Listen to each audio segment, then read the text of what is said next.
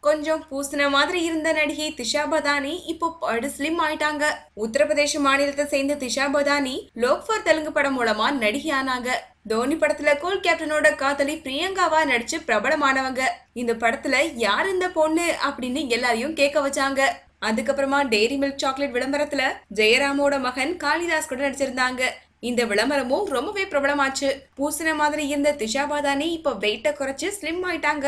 அவருடைய பழைய போட்டோஸ்லாம் வெளியாகி சமூக வலைதளங்கள்ல வைரல் ஆயிட்டு இருக்கு திஷா பதானியும் பாலிவுட் நடிகர் டைகர் ஷெரஃபும் காதலிக்கிறதா கிசுகிசுக்கப்படுது. ரெண்டு பேரும் ஜோடி போட்டு ஊசுத்திட்டு இருக்காங்க ஆனா காதல் பத்தி மட்டும் வாயை திறக்கிறதே இல்லையா டைகர் நடிச்ச பாகி ஹிந்தி படத்தோட ரெண்டாவது பாகம் எடுக்கிறாங்க.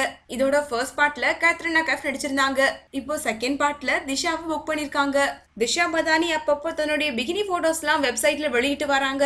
இப்போ ரீசெண்டா கூட இன்ஸ்டாகிராம்ல ஒரு பிகினி போட்டோவை வெளியிட்டிருக்காங்க இந்த வீடியோ பிடிச்சிருந்தா லைக் பண்ணுங்க. வீடியோ பத்தின கமெண்ட்ஸை போஸ்ட் பண்ணுங்க. மேலும் இது போன்ற சினிமா தகவல் தெரிஞ்சுக்க எங்க சேனலை சப்ஸ்கிரைப் பண்ணுங்க. நன்றி.